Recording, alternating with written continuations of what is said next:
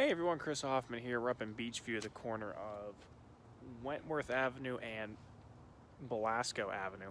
Um, this is where a hydrant, that corner right there, there used to be a fire hydrant right there. It blew off, sending water going all across the street, down the hill, down to the intersection of Crane Avenue and Banksville Road. Water getting into this guy's home here. Um, say it's okay for him, or his, his house will be okay.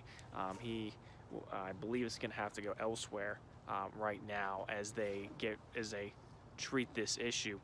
Um, Penn American Water says the nearby homes are without water, but they still have their electric and other utilities. Um, cause is not known, but if you were down in the um, Banksville Road, Crane Avenue area, you saw that water coming down. That's where it's from, a hydrant uh, breaking or uh, blowing off, and all that water going right down this hill here. No timeline yet on when it will be repaired and when water will be restored to these nearby customers. Uh, we'll keep you updated on air and online.